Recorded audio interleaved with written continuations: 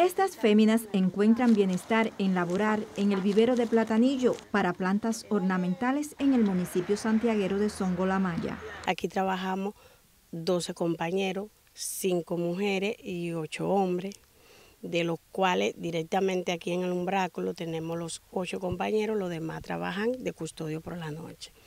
En este umbráculo que ustedes vieron allí tenemos plantas de sombra y semisombra, que tengo una alrededor de 90 o, 90 y pico de variedades de plantas, entre ellas el hecho, begonia, cactus, suculenta, infinidad. El centro está dedicado a producir plantas para jardinería, servicios comunales, organismos y ventas a particulares. Hemos tenido un ingreso en este año que de más de 15 mil pesos en planta de, venta de plantas ornamentales y hemos ingresado a las áreas verdes, a los organismos, a todas las áreas que nos piden planta. Nosotros damos planta y tenemos planta para dar y seguir dando.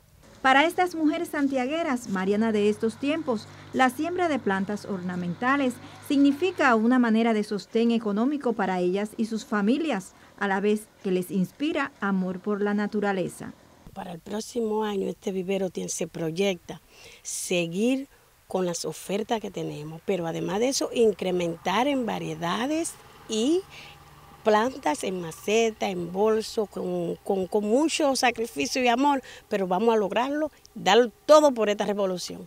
Emilio Urquiza y Bárbara Aroche Cuadro, Sistema Informativo de la Televisión Cubana.